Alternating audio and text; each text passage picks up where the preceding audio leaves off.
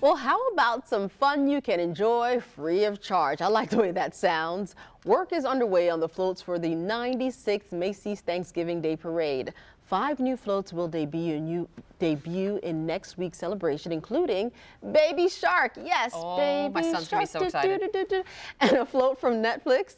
So a reminder, folks, you can watch live coverage of the Macy's Thanksgiving Day Parade next Thursday at 9 in the morning. You know, with so many kids around us, these songs are just stuck in your head. You can't get my them My toddler will scream from the back seat, Baby Shark! and we have to turn it on. Have to turn it Do on. Do the dance and everything, right? right now, our